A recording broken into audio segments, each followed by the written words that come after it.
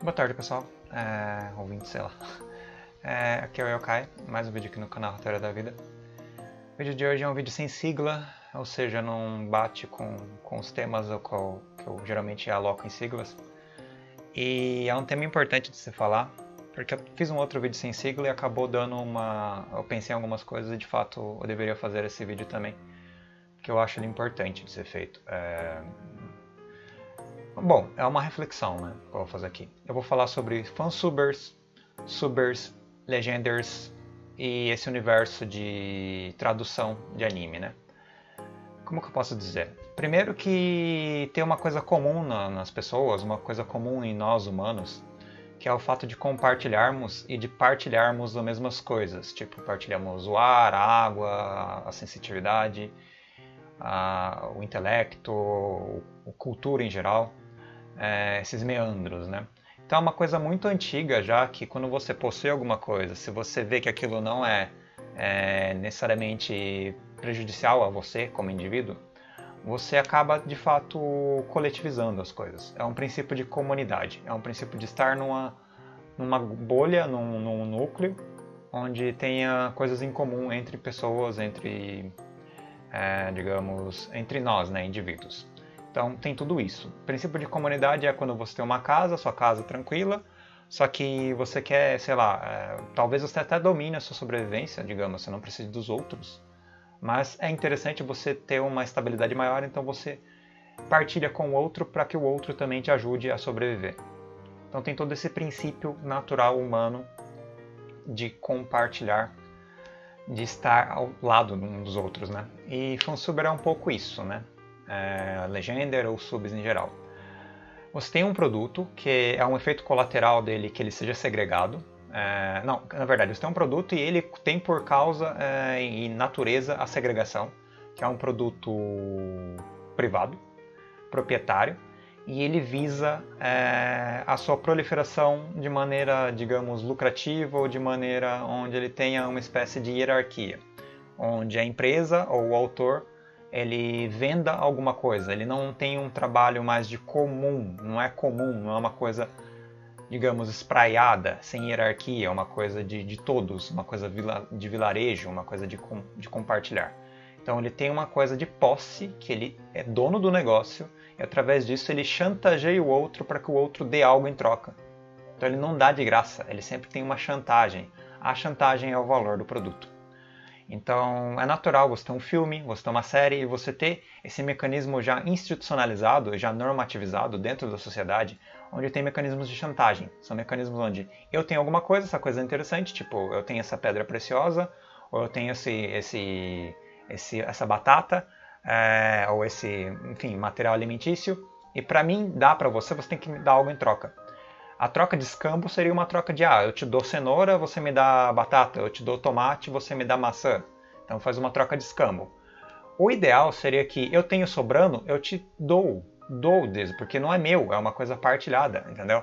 Então tem esses dois princípios contrastantes, o princípio de troca, que vira um princípio de valoração, que vira um princípio de posse, que vira um princípio de lucro, que vira um princípio de negócio um tanto quanto capitalista mesmo, no sentido pleno da palavra, no sentido de origem da palavra, e temos esse negócio de compartilhar não lucrativo, que é o comum, que é o, é o estar junto, que é o estar ao lado. Então, essa coisa de estar ao lado nunca morreu na nossa, na nossa humanidade. É uma comunidade. Você tem alguma coisa que você não quer lucro em cima disso, então você compartilha. Compartilhamento, compartilhar, sem pedir nada em troca. E nisso, quando você tem obras de arte ou obras diversas da cultura que são segregadas porque elas são, como eu disse, na base da chantagem, que é a base da troca do, do valor, que você me dá o dinheiro, eu.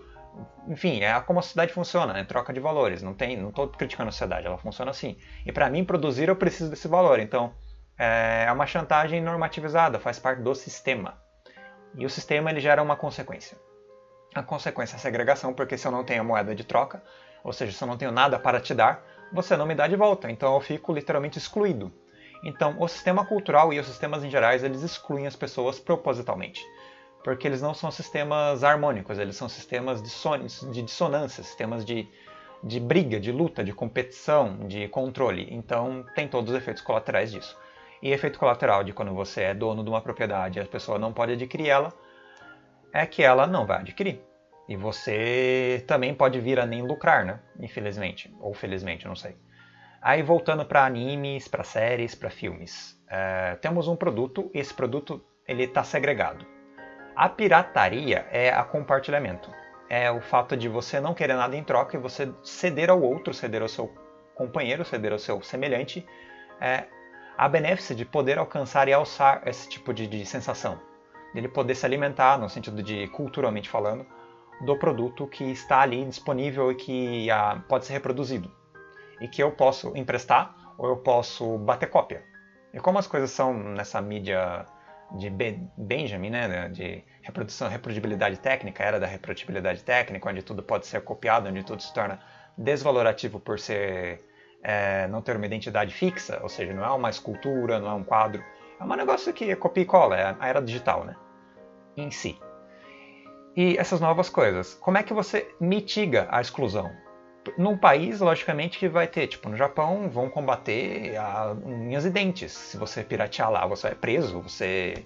Entendeu? A normatividade do sistema te pune. Aí tem um problema. A lei do Japão não é a lei universal, é uma lei no Japão. E se você acaba extraviando isso para outro país, na língua do japonês, por exemplo, um anime, ou se você extravia um filme japonês, em japonês no caso, o que acontece? Você pode ter uma pessoa que saiba japonês em outro país, essa pessoa pode traduzir aquilo, criar uma legenda, que é o que é um fansuber, que é um sub ou um legender, e ele não, não é dono do produto, ele não se sente dono do produto. Então ele simplesmente ele traduz o livro, traduz a carta, traduz a, a linguagem, põe uma legenda, compartilha com os comuns, sem pedir nada em troca, e isso nada mais é do que a proliferação cultural. Isso é lindo. É absurdamente lindo. Eu adoro fansubers. Eu acho que todo mundo devia é uma dívida absurda. Você não tem ideia da dívida que vocês têm para as pessoas que compartilham sem nada em troca. Que não tem chantagem, que não tem bate-volta, entendeu? É magnífico. É magnífico, porque é, é coletivo, é, é, da coletividade, é da comunidade. E aí gera comunidades de otakus, comunidades de, de ficcionados em filme, de cinéfilos, de série. E essas coisas elas não seriam de maneira aberta pelos donos do, da posse distribuídas. Nunca seriam distribuídas, eles não querem distribuir, você não está dando nada em troca. Como ele vai distribuir? Pirataria é efeito colateral da, da, do, do, egoísmo, é efeito colateral da, exclu, da exclusão, é efeito colateral no sistema doente que exige que você é, se seja submisso e se submeta ao poder alheio, ao poder é, do bem alheio. Então você não tem acesso às coisas. Ponto.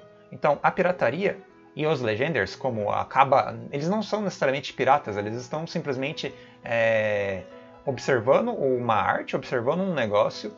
É, se eles são donos daquele negócio, eles querem, sei lá, prestar para os amigos. Teve disso, né? De das pessoas terem um livro ou terem uma carta e quer que as pessoas leiam, a pessoa não tem acesso, ela traduz a carta e dá para a pessoa ler na tradução, porque, porque ela quer sem pedir nada em troca.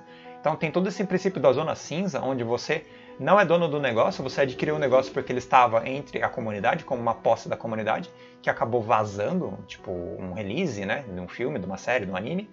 Esse release ele foi feito uma legenda em cima, essa legenda ela foi é, distribuída junto ao release e essa obra se tornou acessível. E sem pagar nada, entendeu? E isso traz um monte de benefícios para as propriedades privadas. Por exemplo, você expande a abrangência da obra. E a abrangência da obra cria mais fãs a abrangência da obra cria mais espectadores, cria mais, mais consumidores. Então, o efeito colateral é, da exclusão e mixado com essa zona cinza da, do compartilhamento também gera indiretamente essa nova área onde a zona cinza começa a ser a, novamente cooptada pela propriedade privada. Por exemplo, a, vocês sabem que as, as, editoras de mangá do Brasil elas lançam as coisas conforme os animes lançam, mas os animes não estão licenciados no Brasil muitas vezes. Então os animes eles vêm através dessa, dessa mídia digital reproduzida, que é legendada por pessoas que não têm ambição de posse do negócio, geralmente, né? Tem os speed subs e tem a corruptela, que é a corrupção dentro do meio, onde você cria, logicamente, que às vezes fazer legenda, fazer um suber, é, ele gasta em vez de ele dar lucro.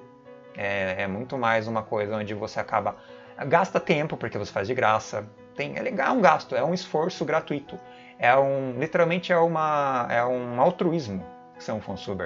Porque você não ganha nada em troca e você ainda gasta. Literalmente, você gasta seu tempo, fazer legenda não é fácil, traduzir não é fácil, é, você gasta energia, você gasta dinheiro mesmo, às vezes, para ter domínio na internet, para poder distribuir para as pessoas.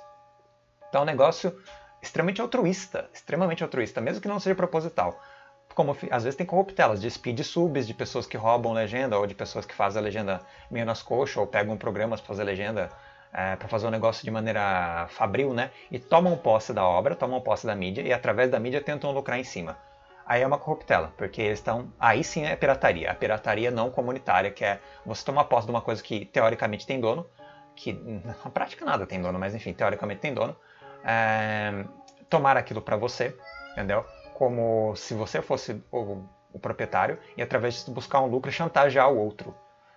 Chantagear pode ser no sentido de você cobrar para o download, ou chantagear no sentido de você fazer propaganda no site, tentar lucrar um pouquinho, mas é uma chantagem mais tranquila, digamos, né? É, menos agressiva. Ou você pode chantagear mesmo e bloquear o download e falar só pagando, entendeu?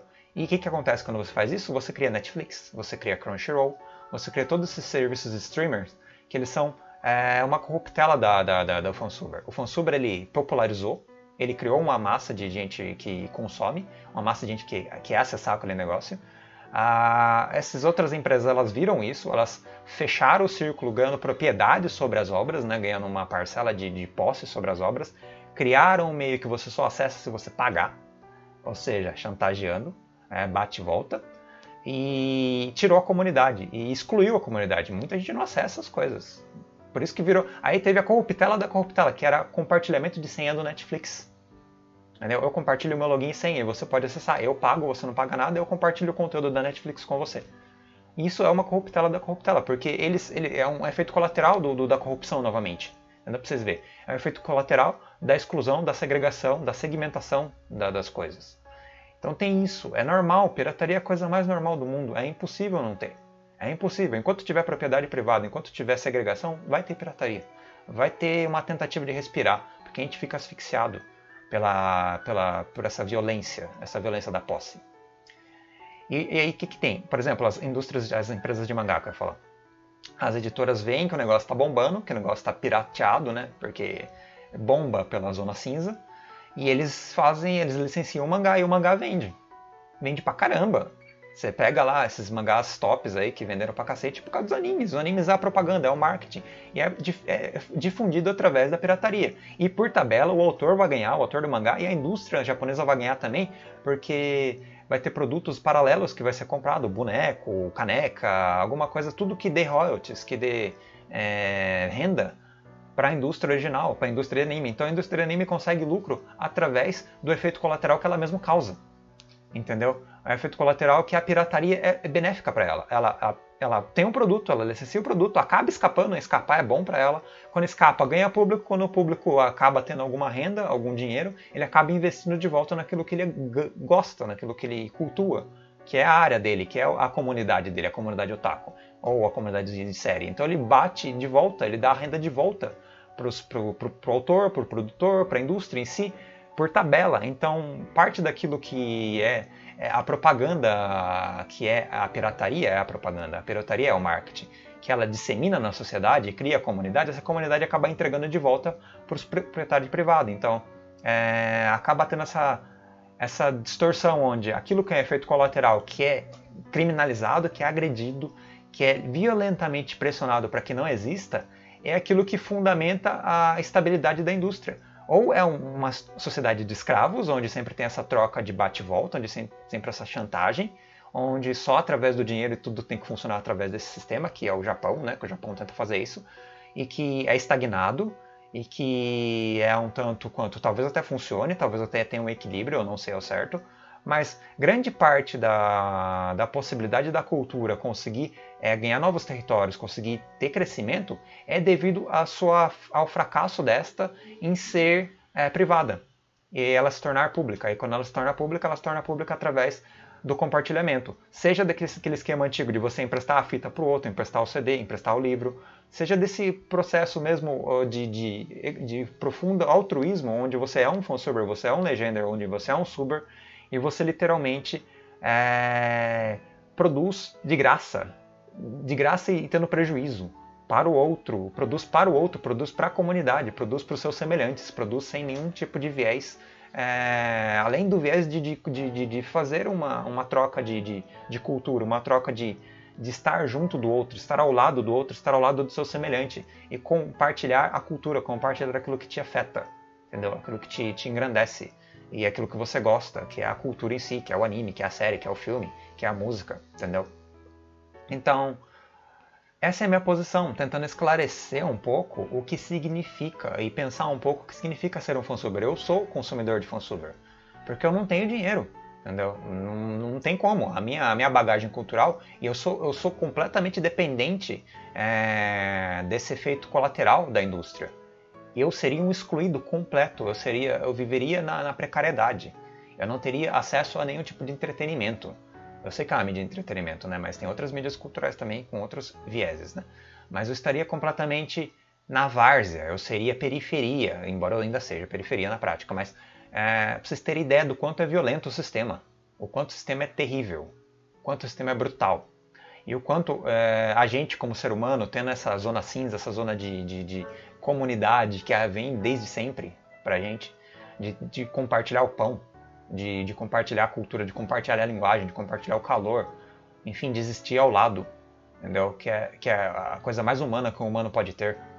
E, e é o fundamento da, da, acaba sendo o fundamento da pirataria, embora é, seja uma coisa às vezes nem consciente, é uma coisa natural da, da, sua própria existência, entendeu? Você compartilhar as coisas, porque não, quando você pensa assim, ah, vou compartilhar a minha blusa, vou compartilhar a minha casa, então tem toda uma fronteira ali do que deve e não deve ser compartilhado. Quando a gente percebe que aquilo não é nosso, que aquilo é do coletivo, é muito mais fácil de compartilhar. Quando a gente tem uma propriedade privada sobre as coisas, por exemplo, é dono de um computador, é dono da internet, é dono da, da, das coisas materiais que a gente tem ao redor, é muito mais difícil a gente compartilhar as coisas, porque as coisas elas parecem que vão fazer falta.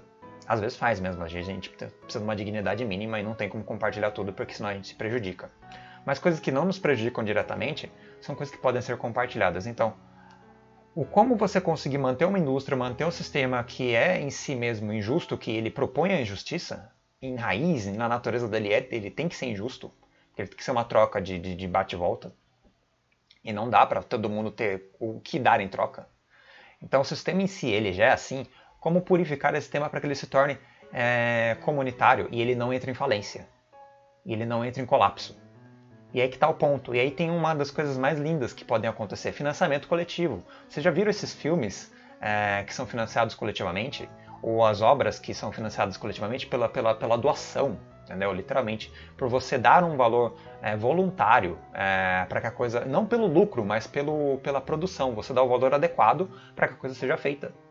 Então tem outros meios também de, de praticar a comunidade sem bate-troca, com um bate-volta sem lucro, sabe? Um bate-volta sem, sem é, escravizar o outro. Onde quem tem mais e quem pode dar, vai dar, vai doar, mas o produto, a resposta, o produto final é de todos. Então é uma construção muito mais bonita, onde aqueles que podem doar, aqueles que podem é, construir o produto, constroem com a sua força de trabalho, com aquilo que ele tem de recurso, e recebe, mas quando ele recebe, ele não recebe para si mesmo, ele recebe para todo mundo. Então, seria um dos modos possíveis de dessistematizar, de descorromper esse sistema injusto, que é o sistema de entretenimento cultural. E é mais ou menos essa ideia. E eu, eu sou realmente grato demais a todo mundo que é extremamente altruísta, a todos os fansubers, a todos os legenders. Tem inúmeros, inúmeros. Eu acompanho o fansuber, eu não gosto de speed sub, mas eu acompanho o speed sub também porque os fansubers estão em decadência. Porque o sistema acabou, a Netflix da vida, a guerra contra os fansubers, a agressão contra as pessoas altruístas que tentam transmitir a cultura sem lucro pessoal e apenas pelo compartilhamento é absurda. A indústria ganha, em parte, nisso. Ganha no sentido de, de derrubar os fansubers. Então os fansubers entraram em decadência. As legendas estão muito mais automáticas, estão muito menos artísticas, não tem karaokê nas coisas, não tem mais a, a participação ativa é, do fã, do fã construindo a obra coletivamente, ou seja, Karaokê é uma construção coletiva, não é uma coisa que vem de, de origem. Tipo, nos animes, tô falando dos animes. É uma coisa que é um, um, uma espécie de esforço, uma espécie de investimento do fã para com a obra, do respeito, do culto e também do compartilhamento da humanidade dele sendo é, transmitida para a comunidade, transmitida de maneira é, sem nada em troca, transmitida de maneira gratuita, entendeu? E essa é a pegada. Eu realmente tenho um grande respeito e realmente mesmo que seja direita, mesmo que seja, enfim, qualquer que seja a vertente política do fansuber, do, do, do cara que faz a legenda, é, eu tenho um grande respeito por essas pessoas. Um grande respeito. É um, é um empenho, assim, quando você pensa uma legenda que tem, sei lá, uma série de meia hora, 40 minutos, e o cara traduz é, 30 episódios dessa série de meia hora. Quantas horas ele gasta com isso? Para sincronizar, para pegar, para voltar, para dar, para pôr na internet, enfim, é um trabalho gigantesco, entendeu? Gratuito, entendeu? Eu acho lindo. Eu nunca fui fansuber. Eu nunca tive domínio de língua para ser fansuber. Tem fansuber que traduz do francês, do espanhol, do japonês, do inglês. Geralmente é do inglês porque é a língua mais é universal, né? Global. Mas enfim, esse é, uma, é, uma, é um vídeo de, de, de prestação de contas do quanto eu devo para os fansubers, do quanto as editoras de mangás devem para os fansubers, do quanto os criadores originais devem para os fansubers, das empresas japonesas, da, da, dos estúdios de animação por eles não terem falido.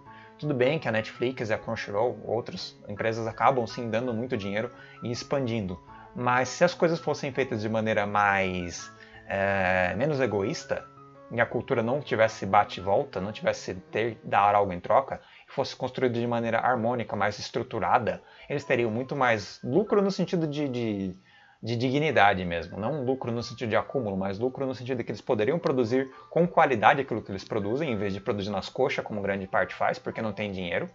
Então eles produziam produzir com tempo e qualidade, artisticamente falando, devolvendo um negócio que estaria pago já para todo mundo, para todo mundo acessar e sem ter chantagem. E aí seria uma comunidade de verdade, a gente seria uma sociedade de verdade humana é, e digna da humanidade como palavra.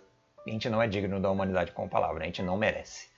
A gente está muito aquém do que significa ser humano como sociedade, como, enfim, existência humana. A gente está muito aquém. A gente tem que voltar às raízes e parar com essa de bate-volta que significa a longo prazo que a sociedade tem que reestruturar para não ter mais esse tipo de coisa. O que praticamente é um caminho, ou você faz isso ou você vai entrar em extinção. Para mim é isso. Então, se você não voltar para a comunidade, se você não voltar para o compartilhamento, para a cooperação e coexistência, a sociedade humana ela vai decair rapidamente e uma hora vai se vai implodir, literalmente vai implodir. Para mim é isso. Mas isso é um efeito colateral do seu próprio comportamento predatório e da sua própria injustiça e desequilíbrio nas relações humanas.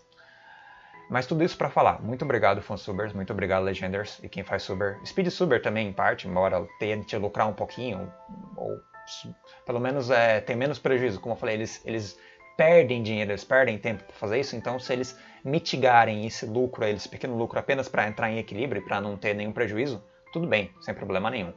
É, grato mesmo assim é, grato por vocês terem fundado a Netflix. Elas são muito, elas devem para vocês. A Netflix deve para vocês. A pirataria fundou, a pirataria ou o compartilhamento fundou a Netflix. A compartilhamento fundou a Crunchyroll. O compartilhamento fundou as editoras do Brasil de mangá. Fundou os eventos de, de anime e mangá. É, e fomentou todo essa, esse processo de, de consumo em volta desse culto, dessa, dessa comunidade dessa comunidade de otakus, ou comunidade de pessoas que gostam de série ou pessoas, que gostam de filmes. Isso foi criado é, pelo compartilhamento, pelo viés humano que não está corrompido e que vê no outro um igual e que vê no outro um semelhante e que não priva o outro de acesso, que não priva o outro do calor humano, do, da produção humana, que não priva o outro de estar ao meu lado, de estar ao nosso lado. E que não é, de maneira alguma, vertical e sempre é horizontal. Então essa é a pegada e por isso que eu sou grato a eles. E vocês, empresas devem muito. Vocês não têm ideia do quanto vocês devem para a natureza humana. Vocês devem, ah, vocês usam a natureza humana para lucro. Às vezes nem de maneira, é, digamos, intencional ou de maneira negativa, mas usam, entendeu? Pode não ter intenção, pode não ser negativo, mas usam. Vocês lucram por causa que a natureza humana é bondosa e a natureza humana é compartilhadora, entendeu? E é isso. Esse era o vídeo que eu queria dizer. Muito obrigado aos fansubers, muito obrigado aos legenders. Eu acho que todo otaku devia é, pensar bem mesmo sobre como ele consome as coisas, o quanto eles devem ser gratos uns aos outros e ajudar uns aos outros na hora de distribuir essas coisas. Embora eu não, eu não, não sou distribuidor, eu não faço pirataria com desse tipo, eu, não, eu acabo é, sendo muito consumidor, mas não, eu não sou, não, estou, não sou ativo no meio, não sou ativo. Poderia ser, mas não sou. Tirando o seed de torrent, seed de torrent é uma coisa. Mas eu não, não faço parte de nenhum fansuber nem nada. É, mas é, é isso, pessoas. Obrigado por me ouvirem e até o próximo vídeo. Falou!